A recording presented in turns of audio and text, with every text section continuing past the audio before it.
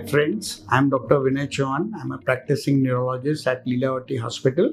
I shall be talking on known as Guillain-Barré syndrome.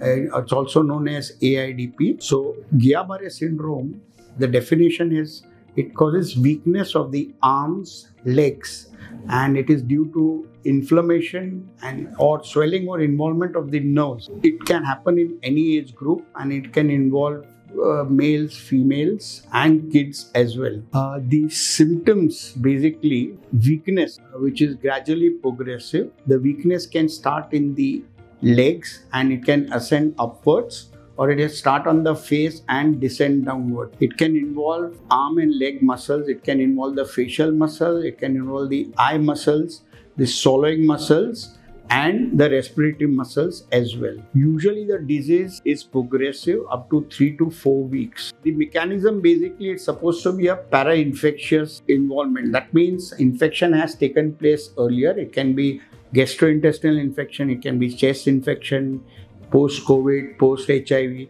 After 8 10 days of this infection, you have the illness presenting as weakness. And the mechanism is probably antibodies formed to that infection cross reacts with the nerves causing inflammation and swelling of the nerve and a resultant weakness. Now, there are investigations which can pick up the disease in the early stage, especially the EMG nerve conduction, CSF, and certain blood tests picks up the disease in the early stage. And of course, clinically, you can make out if this is a Guillain-Barré syndrome. Some of these have seasonal variation, like we see it very frequently at the onset of monsoon or onset of summer season, where the infection are common. Gastrointestinal infection, chest infection, respiratory infections are common. It can be also seen sometimes post vaccine, you know, like you've taken a vaccine after 10 15 days, you can develop a Guillain-Barré syndrome. Now, if picked up early, it is a highly treatable disease. It can be treated with plasma exchange, whereby the antibodies are physically removed from the body, or it can be neutralized by IVIG, that is intravenous immunoglobulin injection. Along with that, supportive treatment is given, physiotherapy is given and if the respiratory muscles are involved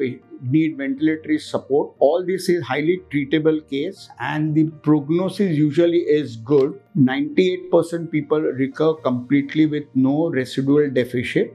Few percentage of people do have some residual weakness. It depends on the intensity of the disease involvement. Good thing is it is mainly a monophasic illness it's unlikely to repeat again but though in some people it can repeat again.